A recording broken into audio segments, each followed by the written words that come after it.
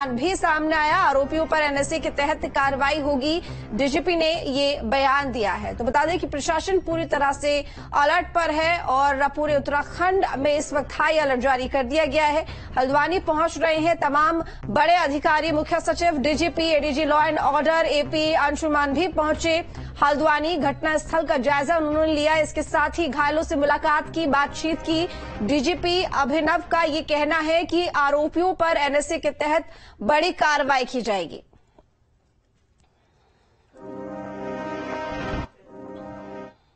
CM Dhami के निर्देश पर मुख्य सचिव से लेकर डीजीपी समेत तमाम आला अधिकारी हल्द्वानी दौरे पर हैं। मुख्य सचिव और डीजीपी ने घटनास्थल का जायजा लिया। इसके साथ ही घायलों से भी मुलाकात की है। अधिक जानकारी दे रहे हैं संवाददाता हिमांशु शर्मा।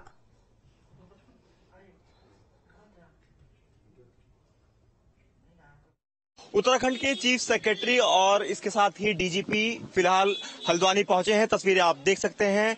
डीजीपी अभिनव और राधा रतुड़ी यहाँ पर आए हैं सीधे तौर पर जायजा लेने के लिए। उनसे बात करेंगे सीधे तौर पर। मैम, क्या कुछ कहेंगे? जिस तरह से ये घटनाक्रम हुआ। हम लोग स्टेटमेंट आपको देंगे। अभी पूरा एक बार देख लें, पूरा निरीक्षण करके। थाने की बिल्डिंग को फिर से अच्छे से रिकंस्ट्रक्शन कराया जाएगा। डीएम उसमें लगी हुई है।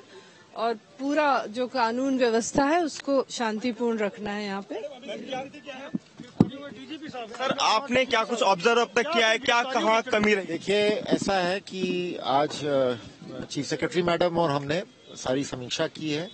अस्पताल गए वहाँ जो लोग घायल एडमिट हुए हैं उनका हालचाल पूछा गया।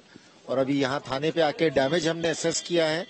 तो अभी स्थिति थोड़ा तनावपूर्ण है लेकिन नियंत्रण में है। और हमने डीएमएसपी के साथ और एडीजी लॉ एंड ऑर्डर हम सब लोगों ने मीटिंग कर ली है।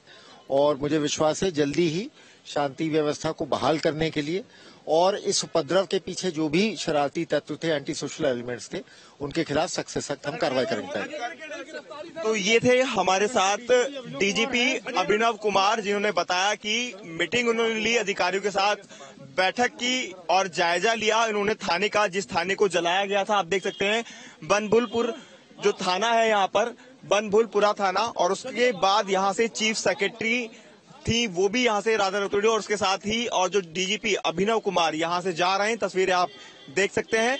जायजा लेने के बाद और सीधे तौर पर डीजीपी ने साफ़ बताया कि जो पुलिसकर्मी घायल हैं, उनसे भी उन्होंने बातचीत की, उनसे भी मुलाकात की है, और जो भी उपद्रवी हो गए, उनके खिलाफ सख्त एक्शन लिया जाएगा। वीडियो जर्नलिस्ट अमित कुमार के साथ हिमांशु शर्मा, न्यूज़ स्टेट, उत्तराखंड, हल्द्वानी। हल्द्वानी में हिंसा के बाद फ़िलहाल स्थिति नियंत्रण में है। कल जहाँ से दंगा भड़का था, वहाँ आज के हालात कैसे हैं? जायजा लिया न्यूज़ स्टेट संवाददाता हिमांशु शर्मा ने। देखिए।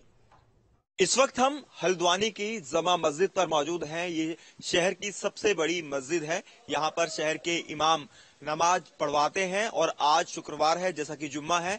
लेकिन हल्द्वानी में जिस तरह से उपद्रव हुआ, उसके बाद शहर में कर्फ्यू लगा दिया गया और आज जुम्मे के दिन सभी जगह पर पूरी तरह से बंदी का ऐलान किया गया और यही वजह है कि सबसे बड़ी मस्जिद होने के बावजूद भी जमा मस्जिद पर आज जुमे की नमाज़ नहीं पढ़वाई जाएगी। तस्वीरें आप देख सकते हैं, जमा मस्जिद की।